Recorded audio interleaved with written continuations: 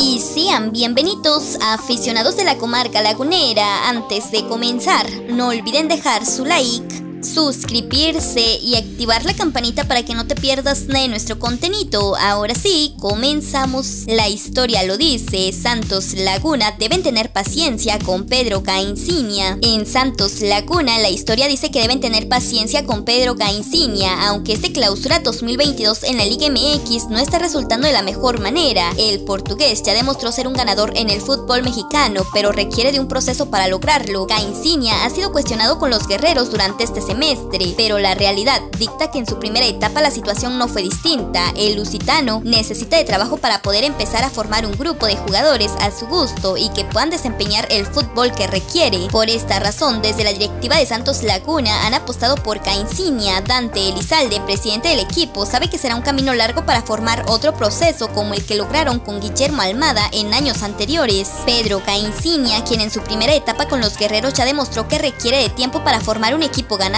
fue en noviembre del 2012 que Cainsinia llegó a Santos Laguna. En el clausura 2013 llevó al equipo hasta semifinales y llegó a la final del torneo con CACAF, Liga de Campeones 2012-2013, misma que perdió. Posteriormente, en el Apertura 2013 volvió a quedarse en el camino de semifinales, mientras que logró calificarlos a Copa Libertadores 2014, donde fue eliminado en octavos de final por Lanús. Para el Apertura 2014, la continuidad dio frutos y se hizo con la Copa MX. Posteriormente, en el Clausura 2015 levantó el título de la Liga MX. Para cerrar su triplete lo hizo con el campeón de campeones 2014-2015. Los títulos que Cainzini ha conseguido hasta el momento siendo parte de Santos Laguna. Sin duda alguna, esto demuestra que el proyecto y proceso de Pedro requiere de tiempo y continuidad para buscar los objetivos.